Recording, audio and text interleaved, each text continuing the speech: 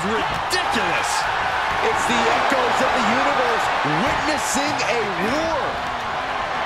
Oh, yeah, she is really getting fired up. Punch right to the face. Got her where she wants her. Oh. Ooh, got caught with a punch to the face.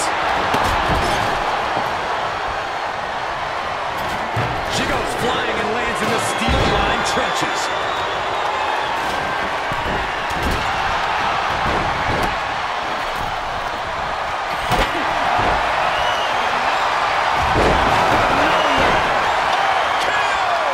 Warm up the buses. This one's over. Two. Into the. She picked up the victory. Picked up the victory.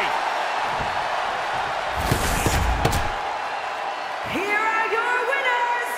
Two teams have just come out on the other side of an absolute war, but only one can say they survived War Games. It's a rare privilege just to compete in a War Games match. So to win one must be an amazing feeling. Bravo to this team. It took incredible fortitude to get the job done tonight.